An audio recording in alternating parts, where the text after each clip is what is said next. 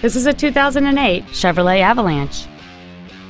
It has a 5.3-liter, eight-cylinder engine, an automatic transmission, and four-wheel drive.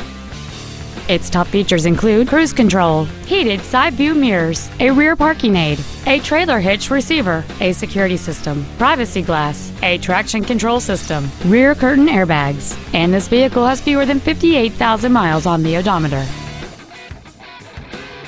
This Chevrolet has had only one owner, and it qualifies for the Carfax buyback guarantee.